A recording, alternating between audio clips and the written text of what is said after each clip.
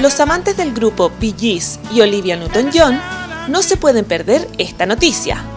El viernes 16 de mayo, a las 20.30 horas, se llevará a cabo un concierto tributo que recrea la evolución musical y estética de estos dos artistas.